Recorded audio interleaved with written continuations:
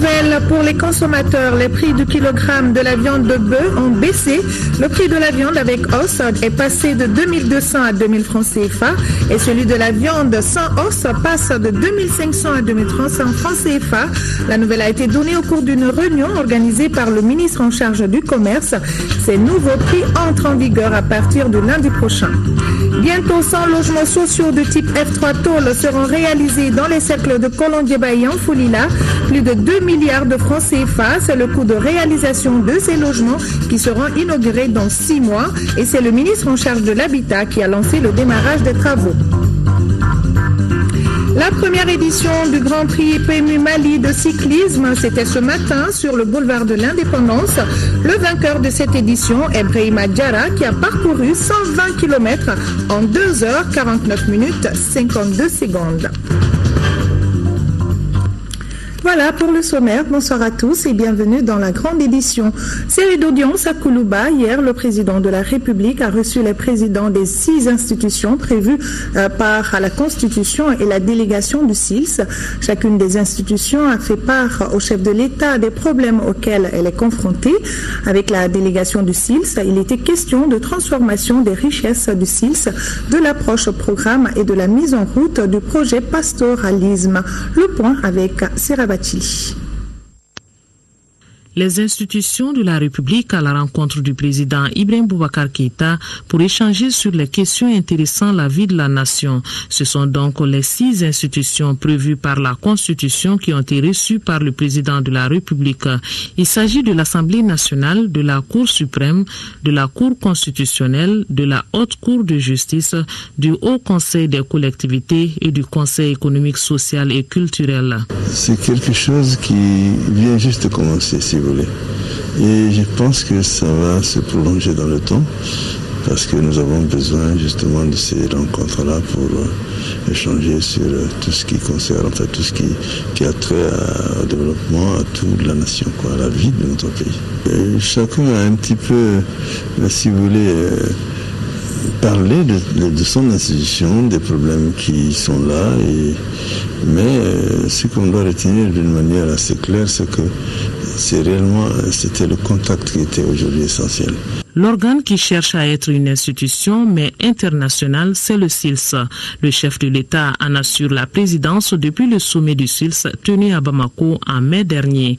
La délégation du SILS est donc venue chez son président pour une mise au point des activités. Nous sommes venus rendre compte à son Excellence euh, depuis le sommet de Bamako, lui rendre un peu compte de ce que nous avons pu réaliser depuis le sommet de Bamako et lui faire part des grands enjeux qui attendent euh, le CIS et les efforts que le CIS doit déployer pour que nous puissions certainement relever le défi de notre sous-région qui est le défi de euh, la transformation de nos systèmes de production, la création de richesses et de l'emploi.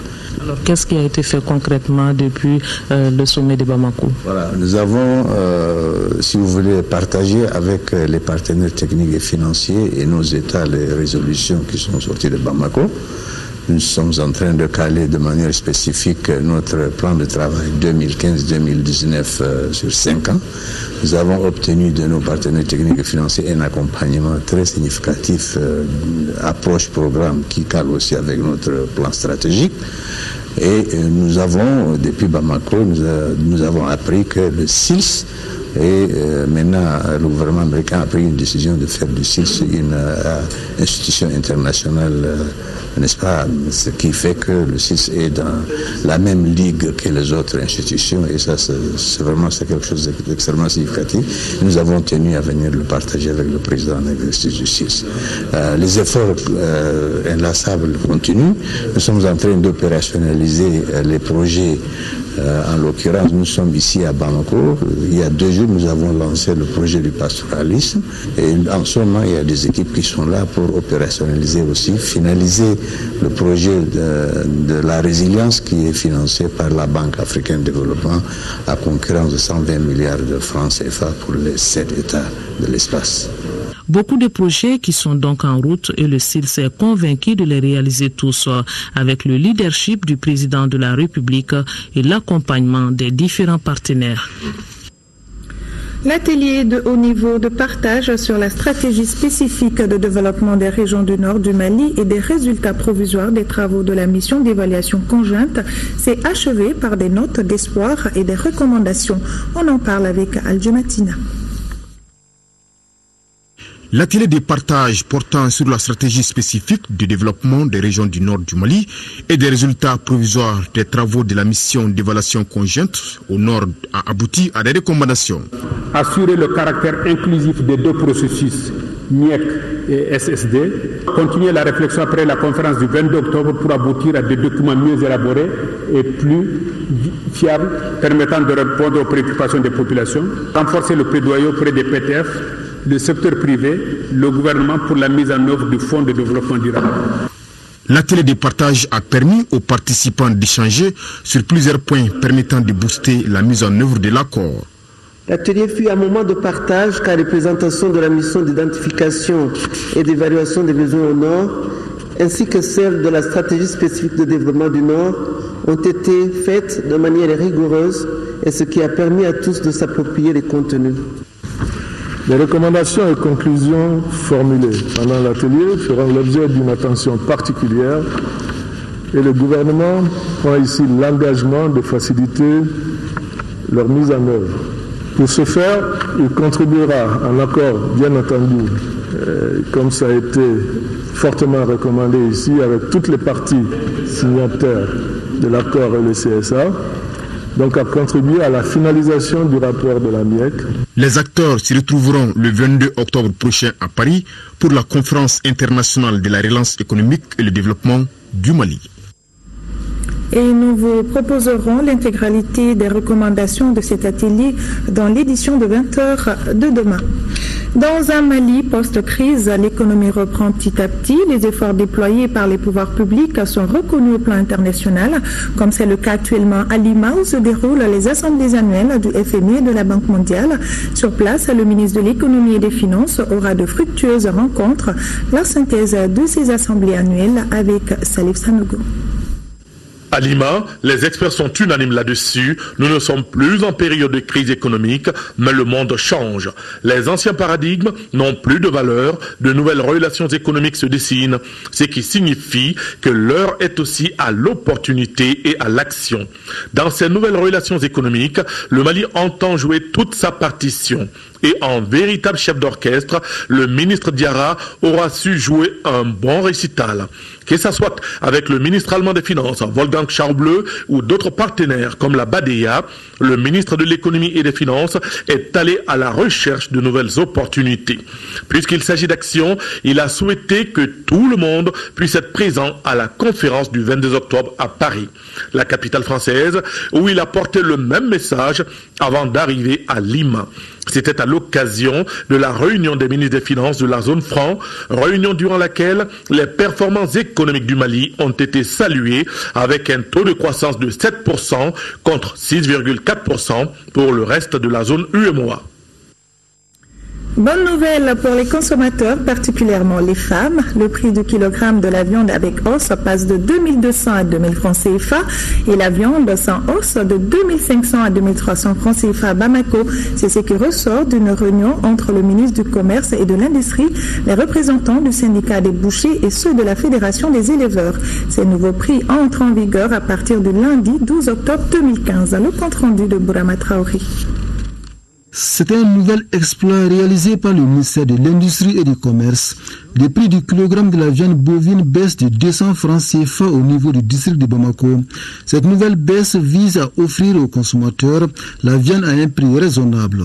Le lundi 12 octobre, la viande sera vendue à raison de 2000 francs le kilo de la viande avec os et 2000 300 francs la viande sans os. Ce compromis a été trouvé ce vendredi entre le département en charge du commerce, le syndicat des bouchers et la fédération des groupements interprofessionnels de la filière bétail viande du Mali.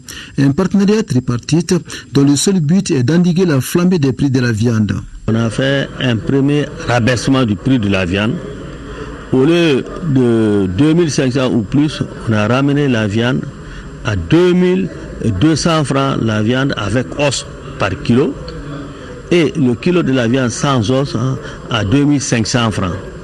Mais depuis lors, on s'était donné en tout cas la promesse comme quoi après un mois, on va ramener encore le prix de la viande euh, à 2000 francs, la viande avec euh, os, et 2300 francs la viande sans os. Aujourd'hui, on se met devant en tout cas euh, le Malien pour tenir promesse. De son côté, le département de tutelle entend honorer tous ses engagements, notamment la recherche de nouveaux financements pour les bouchers et la suspension de l'exportation de l'allemand bétail, au moins pendant une année entre autres. Les acteurs de la filière bétail viennent saluer ces engagements. Nous sommes entièrement d'accord avec euh, le programme du ministre du Commerce. On les remercie aussi de nous accompagner, de nous financer 100 millions de francs CFA, les bouchers, associations, fédérations euh, bétail viennent au Mali. Quand une préoccupation est partagée, la recherche de solutions devient facile. Le ministère du Commerce et ses partenaires entendent œuvrer ensemble pour baisser davantage les prix de la viande.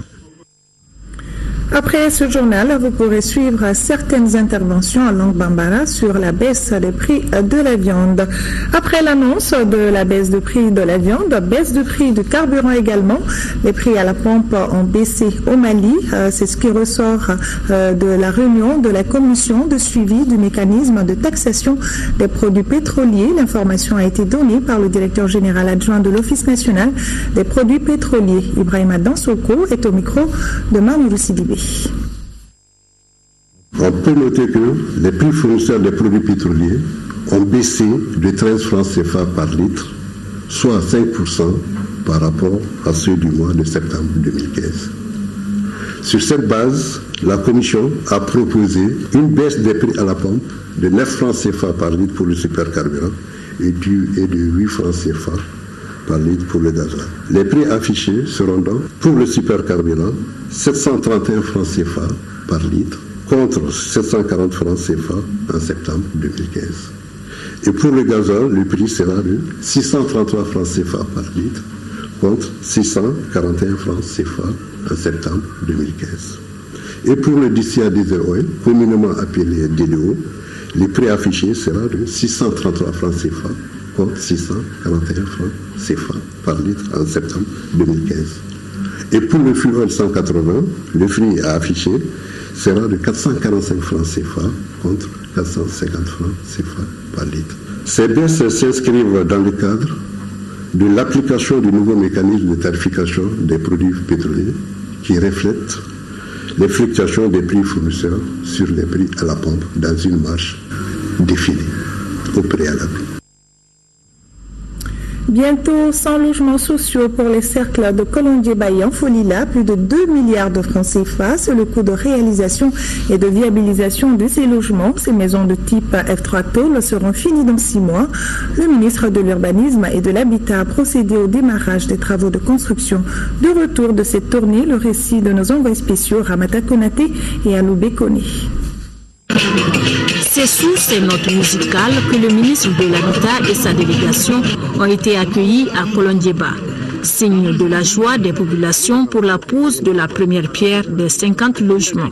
Ce site sera électrifié et doté d'infrastructures dont l'école, le centre de santé, le poste de police, ce qui va contribuer à l'amélioration des conditions de vie des populations de Colondieba, à en croire le représentant du chef de village de la localité.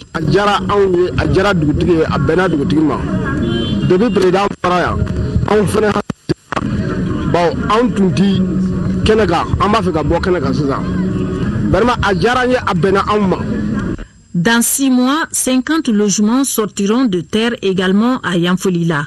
La cérémonie qui nous réunit aujourd'hui, la pose de la première pierre du logement social du cercle de Yamfoila, contribuera à la création d'un nouveau quartier dans la ville de Yamfoila et aussi permettra l'extension des réseaux d'eau et d'électricité à une partie de la ville qui avait tant besoin. On retrouve le site des logements sociaux de Kolondieba juste à côté du lycée public de la localité.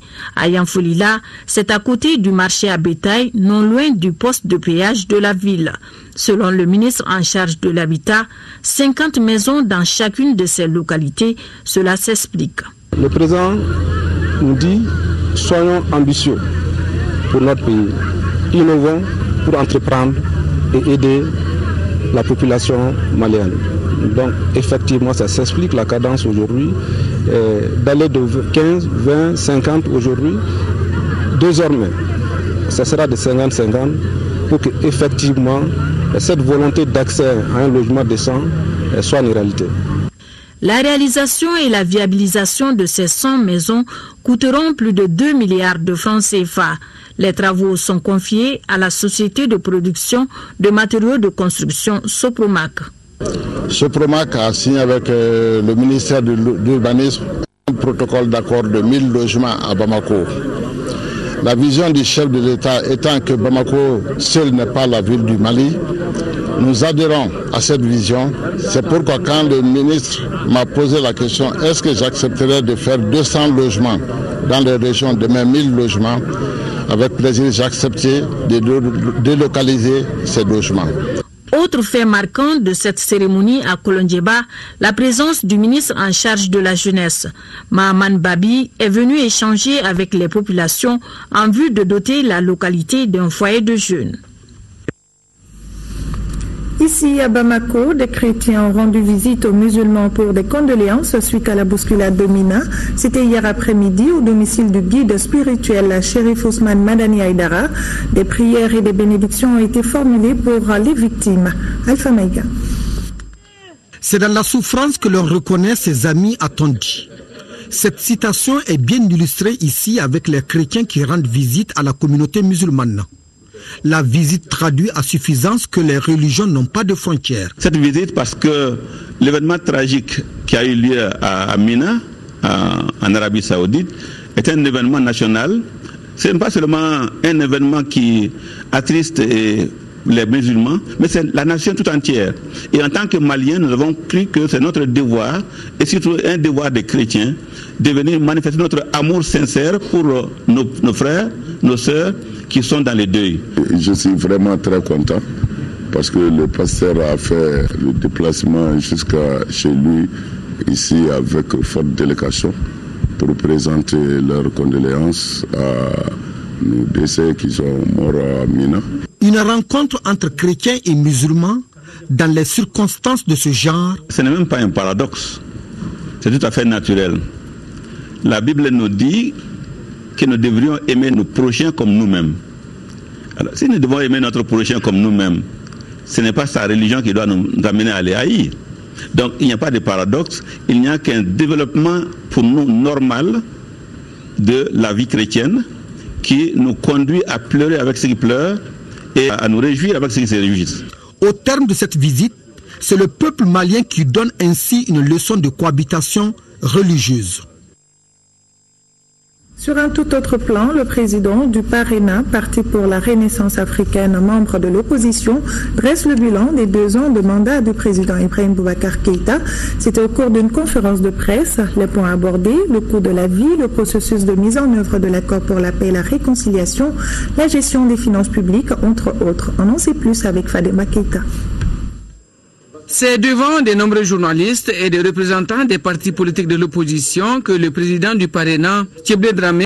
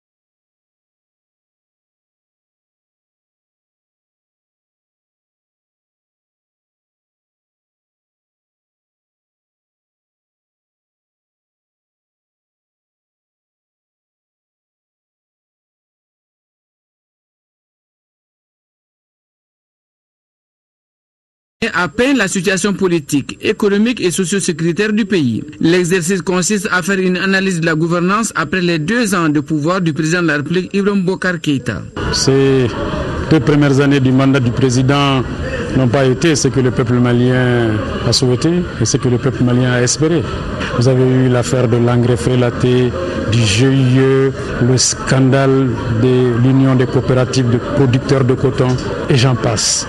Cependant, l'ancien ministre Dramé reconnaît le bien fondé de certaines réformes enclenchées par le pouvoir.